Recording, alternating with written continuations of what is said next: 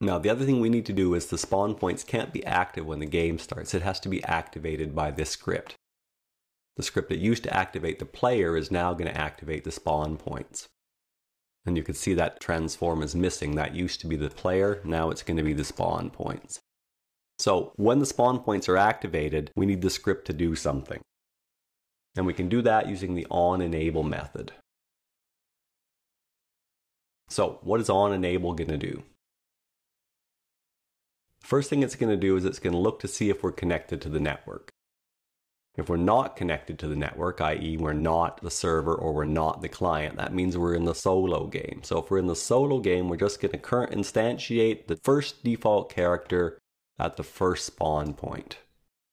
If we are connected to the network, then our player is going to have an index number. It's going to depend on this network player to string. That's going to give us back an index number. For some reason, Unity returns that as a string. We're going to parse it back to an integer so that we can then use that integer to index and network instantiate character 1 or character 2 at spawn point 1 or spawn point 2. So that's all this script is going to do. Now, there's one other little bit of housekeeping left to be done, and that's that both of these characters need to be tagged as main character, and they should be put on the layer main character as well. We do this because our script is looking for these tags, and if it doesn't find these tags, then the game won't behave correctly. So you want to make sure you have those tags set up. Alright, now we should be able to run the game, at least as a solo game. And there you go, our character has instantiated. Something else. Unity messes up the animations, so we need to fix the animations. Let's go back and fix those now. If you look at our characters, you can see these animations are missing. We just need to drag them back in. Alright, so we want idle, walk, run, and jump pose. And let's check the other character as well since we're here. Okay, that one's all right. All right, let's try this again. Okay, there you go. Now we have our character. He walks, he jumps, and he runs. That's exactly what we would expect from a solo game. So it's not going to work quite yet in a network game because we don't have a network view on these players. If we want to network instantiate things, we need a network view. There's no network view on either of these, so we need to add the network view. Network view for that one, right here, and a second network view for this one. Okay, now both of our characters have network views. In theory, we can instantiate them in a network version of the game. Let me just bring this to full screen. Alright, let's see if I can join a game. I've got a game running on another machine so I should just be able to join that game. So there you go. You can see that I've got my other player. There's no hat on that player. But the camera seems to be behaving a little strangely. Let's see what happens as I try to run across to the other side of the island. You'll notice the camera's not behaving correctly. Something's not right with the camera. what's happening here is both the player on this machine and the player on the other machine have their control scripts running.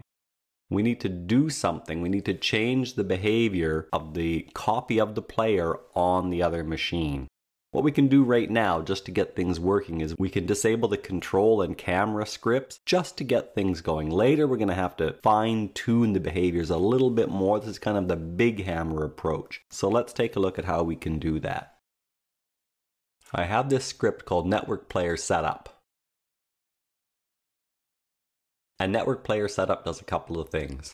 It uses this method called onNetworkInstantiate.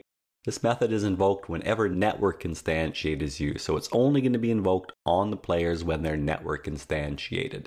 The first thing it does is to check to see if the network view is mine. That means is this running on my computer or is it running as a ghost or a clone on another person's computer? I happen to like the term ghost. I like to think of the main player as the one instantiated on my machine, and the one instantiated on the other person's machine is kind of a ghost. It's sort of remote controlled and moving around, and not really being controlled by the player, but a ghost version of the player.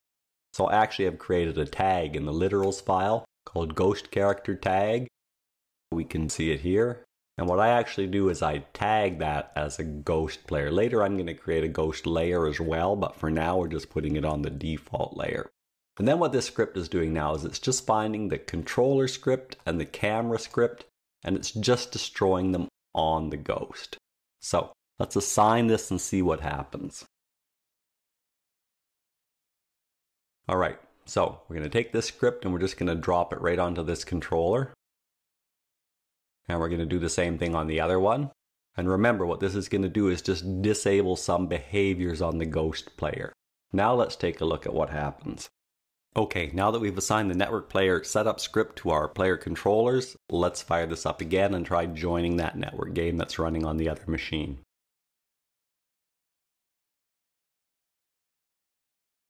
Let's run over to the far island and check out our ghost player.